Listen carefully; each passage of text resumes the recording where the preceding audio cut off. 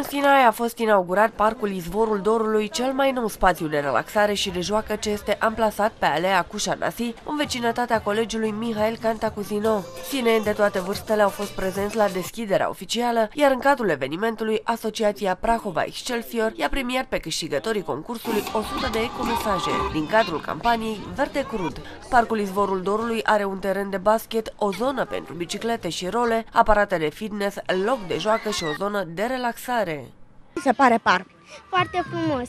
De ce e atât de frumos? Ce-ți place? Uh, să mă joc. Care zonă îți place cel mai mult din parcul acesta? Care o preferi? Asta.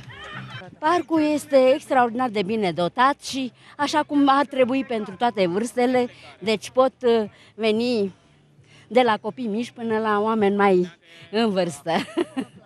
Da, îmi place foarte mult și mă bucur pentru realizarea care s-a făcut. Da. A fost doar o alee neasfaltată. Am asfaltat-o într-o vreme prin domnul director Ghioca Adrian, așa, după care a rămas doar o fâșie de asfalt lungă de la un pod la altul, așa că ideea de a crea aici un parc pentru copii și deopotrivă pentru adulți, pentru că sunt uh, și multe aparate pentru adulți. Și a crea în același timp și ideea unei concurențe este absolut extraordinar.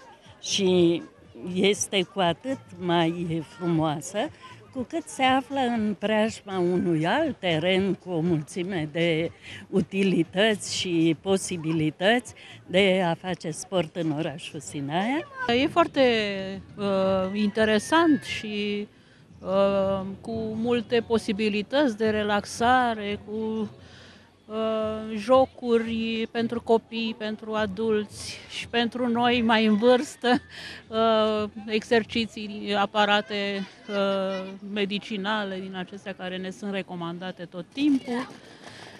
Și seara, nu eu locuiesc aici, și seara când sunt luminile aprinse și e mai puțină lume, o parte din timp îl petrec pe aici. E foarte, foarte frumos.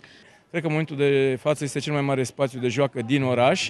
Uh, el l-am conceput uh, pentru a fi folosit încă de, chiar de copii de la 3 ani până la 70-80, uh, până la vârste înaintate.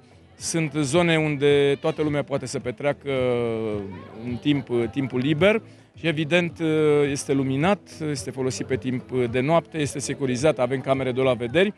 E doar începutul unui parc pentru că doresc ca în perioada următoare să lucrăm la un proiect pentru a-l extinde până la ieșire în calea București. Astfel încât în această zonă să se facă legătura între Aleea Cușadase și Calea București.